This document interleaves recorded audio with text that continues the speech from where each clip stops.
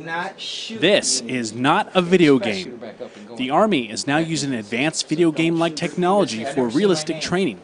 The 86th Training Division on Fort McCoy, Wisconsin runs several virtual trainers for CSTX 86. We have nine different sites that are simulated base of one form or another. This is one of nine that we are offering. Um, and just to give you an idea of the, um, uh, the emphasis that uh, units have on requesting this, of this entire exercise, just this lane out of six, we will train 50% of all the personnel that go through on this exercise purely just in this lane and on simulations.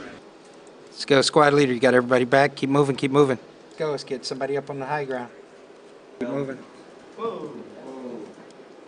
Uh, you can throw just about anything known to man at them. Their movements can be duplicated, their uh, effects, their reactions, uh, all can be monitored and, and recorded, and it's, it's just a fantastic trainer. And I see the potential, and it's, it's limitless. And a lot of times it really fits their real world mission.